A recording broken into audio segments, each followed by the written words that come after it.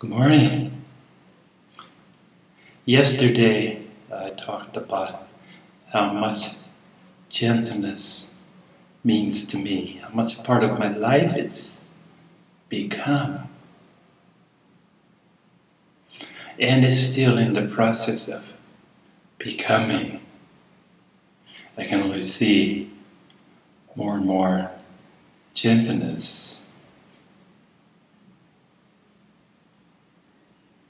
And it's one of those things. There can't be too much.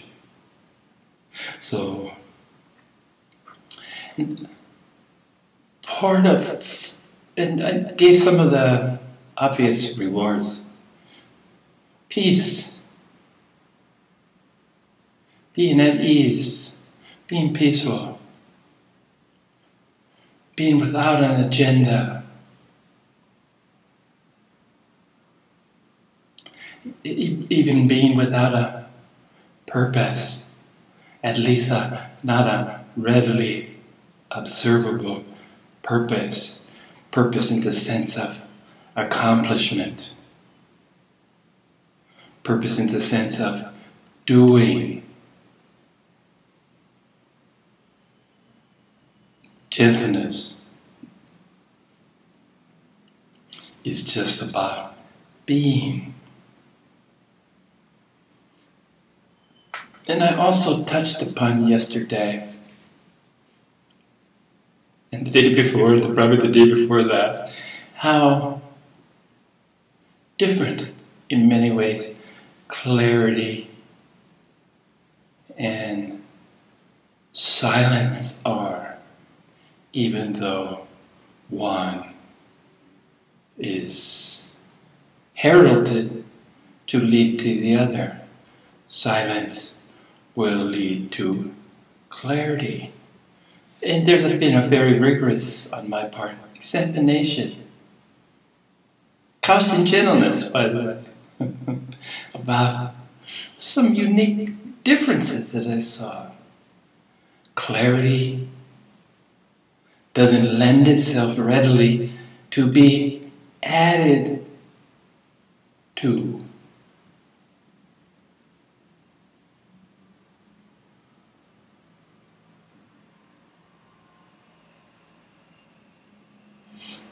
While silence on the other hand, is not about taking something away from.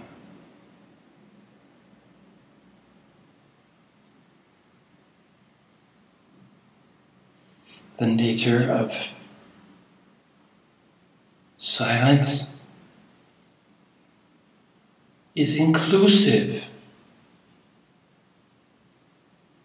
It does, after all, have the seeds of its polarity, communication within.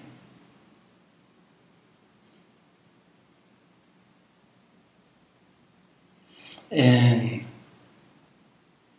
clarity in this polarity, doubt,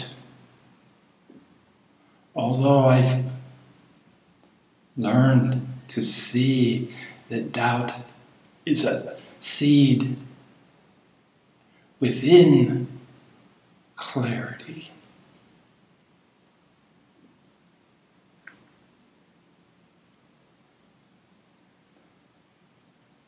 That celebrates its commonality with its polarity, as does everything about each and every polarity. But as you add more doubt to clarity, it doesn't become clear. What it does is stirs up the waters, adds something that inhibits the clearness of the water. And this propels you to change to deal with the doubt by expansion, absorption, absorption, absorption, so that your waters could still again so clarity can return. And what you start seeing when you see that nothing is permanent other than what we are. Everything else is illusory, is Maya. Once you see that change is inevitable, you relax into an understanding based on careful observation. Careful observation bordering, bordering on meticulous. Meticulous in the sense that measuring smaller and smaller units of change, recognizing change in lesser and lesser degrees, not having to wait till change has gotten so much bigger that is upon you. And perhaps this can be one of the gifts of clarity. That you're more sensitive to change. You can register change. And as everything, as your understanding intensifies, things speed up. So the sooner that you notice that something is afoot, some element of change is beginning to cloud your, care, your clarity if it entails doubt. Clarity is only lessened by doubt. And as we see now, this process will return clarity to its balance. But it's only through doubt. As your doubt lessens, as you surrender to gentleness, an immediate consequence of increasing intensity is the beauty of relaxation. It's only in peace. It's only as your fears are put to rest. It's only as you start to understand the nature of change. Change is inevitable. Change is coming. Change is here.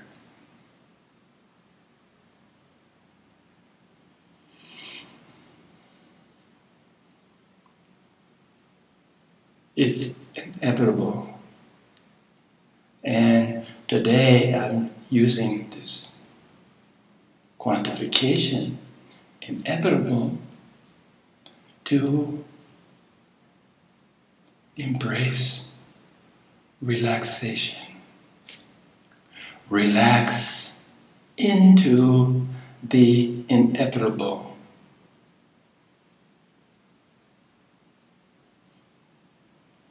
What will be, will be. So to be anxious, to anxiously anticipate. To try to avoid, to even go as far as trying to ignore the obvious. As it becomes more and more obvious. Consequently, more and more effort is put into not recognizing, refusal to recognize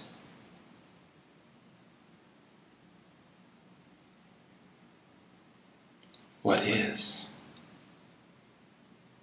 As you embrace this, as you see that it's part of a natural rhythm, it is indeed, it does indeed contribute to the song of the universe, as does all truths.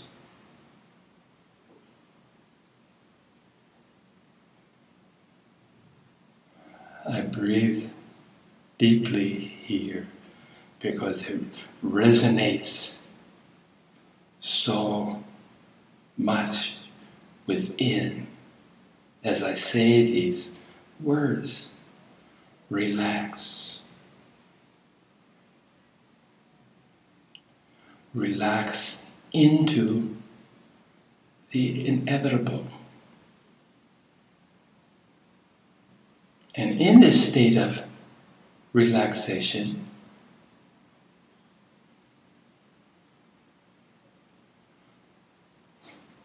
what do you do? Walk on, as Christmas Humphreys said. Walk on. Take the next step. Take the next step on your journey. That's all you need to do. Take the next step. Walk on. Stagnation is an element of ending. Stagnation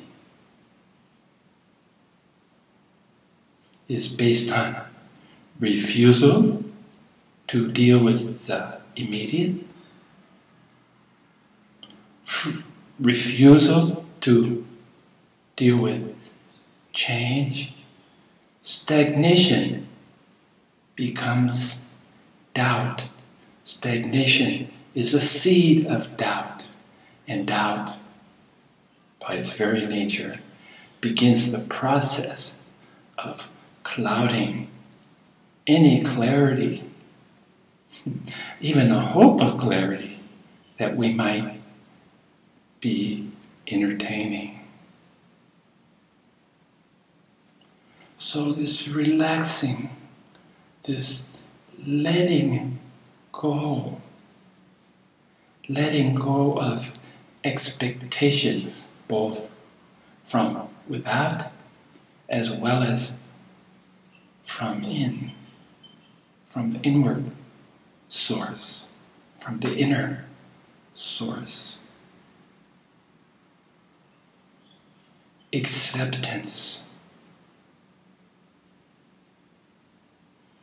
is the springboard into surrender.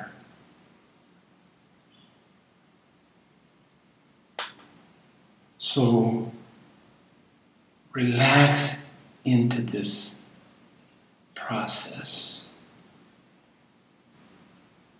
Remove the pressure of achievements, of measurements, of accomplishments, of accolades,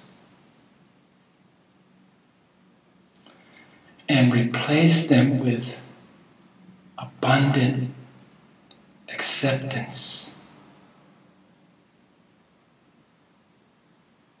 of the universal.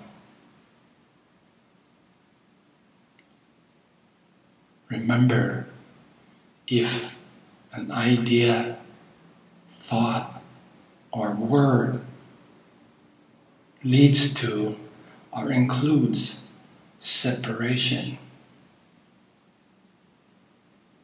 division, then it's a word, thought, or idea that needs to be eliminated through your process of self inquiry.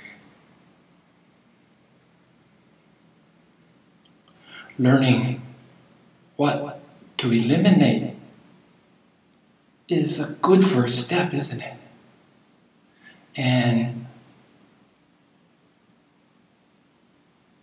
as you are learning to eliminate obstacles, needless obstacles, you start to understand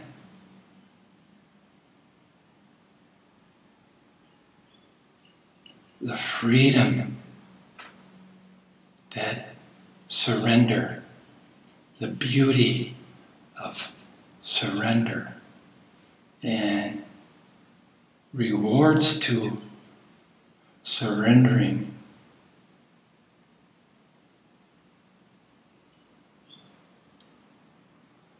Lead one to love, universal love, acceptance of what's so.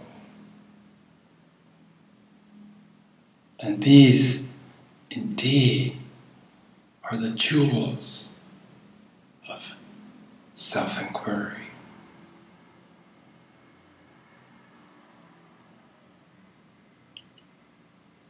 Equanimity as a reward for spiritual inquiry, as a condition that becomes more and more possible to maintain continuously is through your self reflection, your self inquiry. And once arriving at equanimity, it's really not a difficult state to maintain. It only gets easier when you learn that things that upset your equanimity have absolutely no value.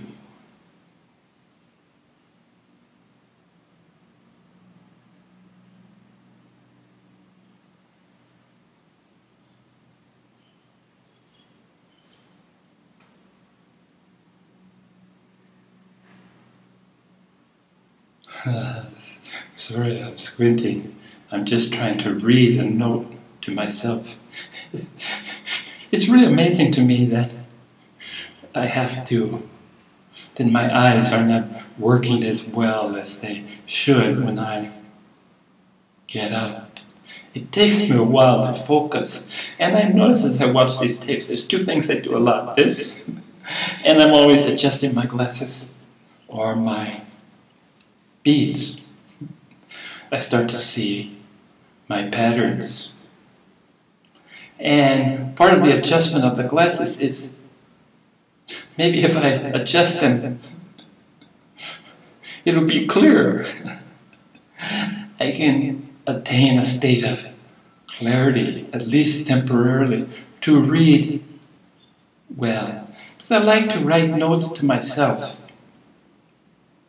I like to put reminders, very brief, but reminders that help. And today's reminders was about the ease of relaxing into clarity and yeah, into equanimity, the ease. Clarity, on the other hand, most times is not as easy. Certainly, I haven't been successful of sustaining clarity. I do get more and more glimpses, especially as I relax from the intense discipline that I previously placed on the attainment of clarity. The work to silence the mind.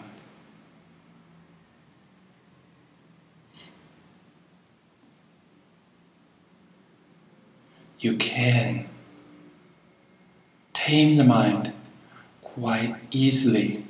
The recognition of what's real and what's not. In the beginning, what's real seems smaller than what's not real. But as you explore the nature of what's real, you'll find that what's real is huge and it completely overshadows what's not real. There's no limitations of in realness. And that, of course, is where abundance, the secret to abundance, lies in this recognition of how huge and all encompassing the real truly is. And the not real, which was in the beginning, the unreal, the Maya, which appears to be so huge. We're putting down everything that we thought we knew felt, believed, putting it down, taking the load off our shoulders, relaxing. And it seems that not much is left.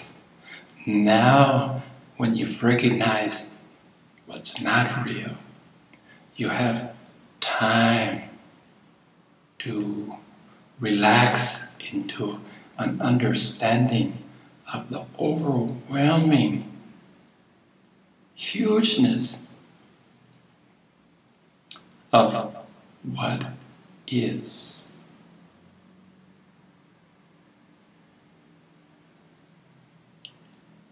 So, equanimity, other than paying attention, other than acceptance of the inevitable. It doesn't require much maintenance to stay in a state of equilibrium. Once you accept the eternal, once you accept that you can watch change come and go in the comfort of, in the unity of, in the company of eternal, lasting peace, light, and love. That's inclusive. That includes all of us and the essence of everything. As long as you remember these things and a daily reminder of surrender is important for me, it's a practice that I've incorporated into my daily patterns of living. Whereas bliss and clarity have to date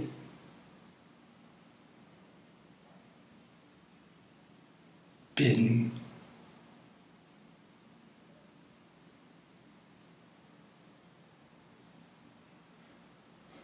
difficult, impossible. Hmm, I don't like that word impossible. It's all within the realm of possibilities. But it hasn't been a state of mind, of being, that I've been able to maintain continuously. And as I looked at both of them,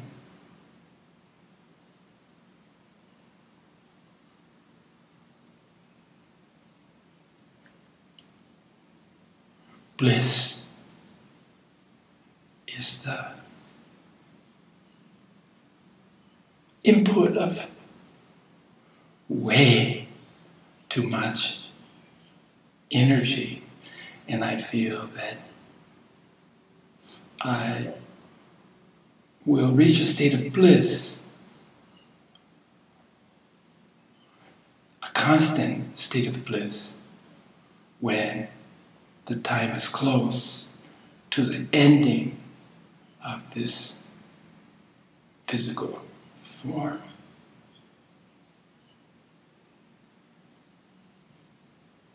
As I experience more and more bliss, I know, I recognize that change is coming as it always has and as it continue as it continues to always happen.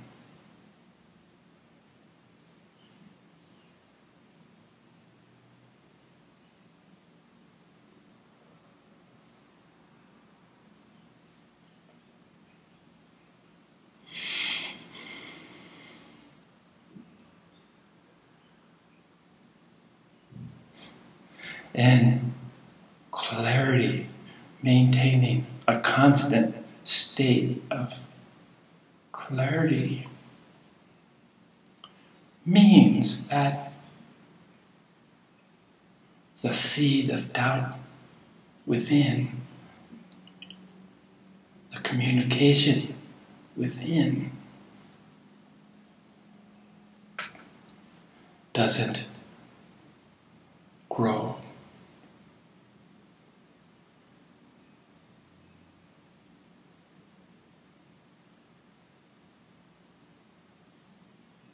And I don't know if I got that right. I think I didn't get that right.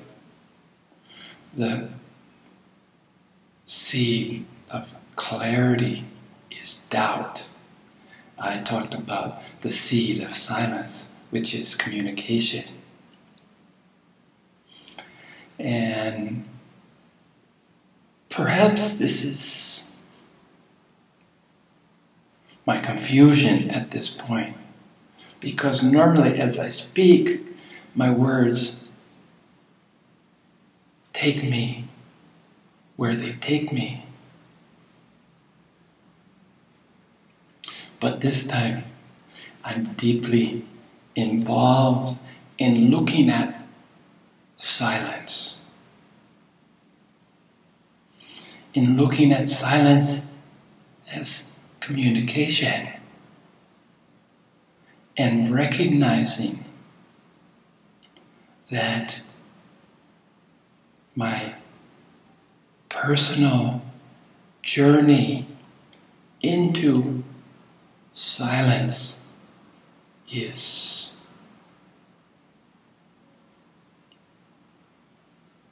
increasing. I feel myself impelled towards silence. A silence that will not include my teachings I'm sharing with you. I can see endings looming and am completely relaxed and okay. I've relaxed into the inevitable. This change will come. This ending will occur. But endings, after all, are necessary for new beginnings. And this is what I feel I'm on the cusp of new beginnings. And that makes me smile.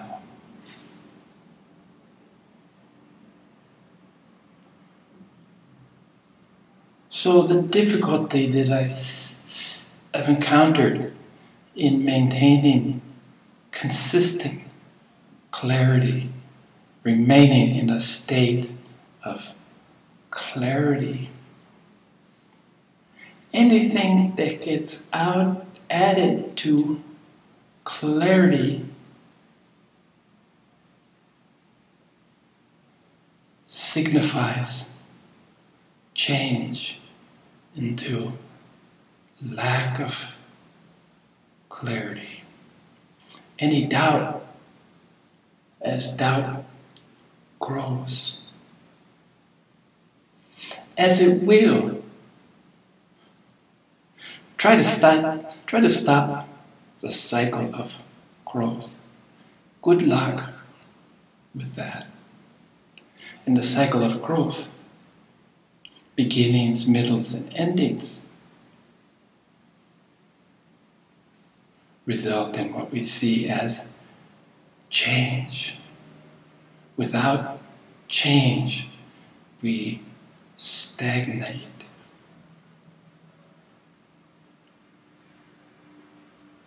So, an understanding that maintaining these two conditions, desirable conditions, conditions that we work towards, bliss and clarity, to reconcile on a personal level an understanding of what they are and to in understand, embrace, and accept that you can enjoy them no matter how brief the state of mind remains with you. Accept, trust, be gentle, and relax.